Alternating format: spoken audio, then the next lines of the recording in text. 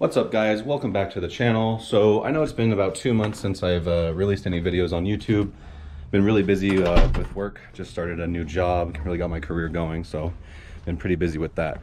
But I am gonna try to post videos from time to time and I have a big update on the car today. So this is gonna be the last look that you get on the white wheels. So I am changing them up today. So I will show you what that looks like after I go get them mounted. I also need new tires because there's like maybe one millimeter of thread. Okay, maybe two millimeters of thread left on the tires. Um, but yeah, so last look with the white wheels on the Focus. And another thing I'll be doing within the next week or so is replacing the orange mud flaps. So I'm gonna be replacing them with black mud flaps with just orange writing. I'll probably go with Rally Armor since I like those. But let me go inside and show you what these new wheels look like. All right, so here are the wheels. So I went with some Rotiform wheels. These are the Rotiform RSEs. Uh, the size is 19 by 8.5. It's kind of hard to see. Offset 45 millimeters and the center bore being 72.7 millimeters. And I went with silver finish. Um, so that center bore thing, you need to get some center hub rings. I got these off of Amazon. I'll link it down below. Uh, I believe for the Focus ST, you need a 63.4 to whatever the, the new size on the new wheels are. These are 72.7. I couldn't find 72.7 anywhere, and so I went with 72.6. So I already fit them on there, and they fit pretty snug, so I think it's going to be okay. But yeah, really important that you get these rings if you're getting aftermarket wheels. So, all right, let's take a look at these. So I've already inspected all four, no defects. That's really important as well. And here's what it looks like. Really love all the spokes. I love the, the finish. I got these ceramic coated uh, when uh, before they shipped. I think that's super worth it. And I really like this touch right here where it says Rotiform, so that's pretty nice. And then that center hub cap right here.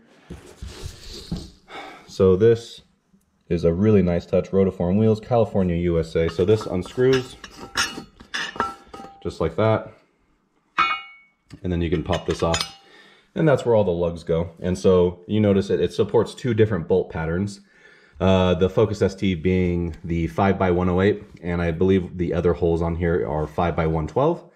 So these can actually go on a different car that supports a different bolt pattern, which is pretty neat, I guess. So if you have a friend who also wants to see what they look like, you could do that. Um, but yeah, so this is what they look like. And I'm about to take off right now and get them put on, and I will update you as soon as they're on. All right, so here it is, revealing the Rotiform RSE rims. So these are 19 by 8.5 with 45 millimeter offset.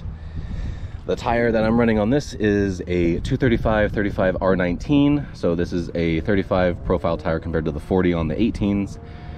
Um, yeah, so overall this stance looks excellent. Looks a little lower. Um, the tires that I put on here, brand new uh, Pilot, uh, sorry, Michelin Pilot Sports all season. So some pretty solid tires. The stance looks really nice. Update for the car. I have uh, Steeda lowering springs coming in next week. Probably do a video on that. It drops the, uh, the front by one inch and then the rear by 1.4 inches. So I think that'll look pretty cool. Then other updates, I will be removing the orange mud flaps and replacing them with the black Rally Armor mud flaps with some orange lettering.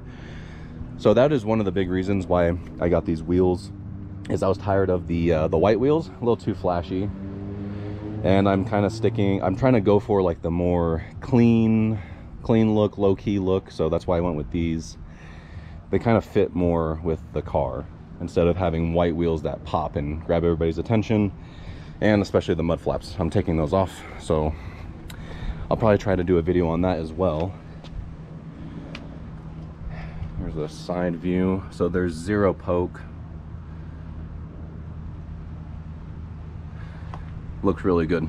So that is going to be it for this video. Um, I'm going to try to put out some more content, especially with the lowering springs and, you know, changing up the mud flaps. So appreciate everybody uh, watching and I'll catch you guys in the next video. See ya.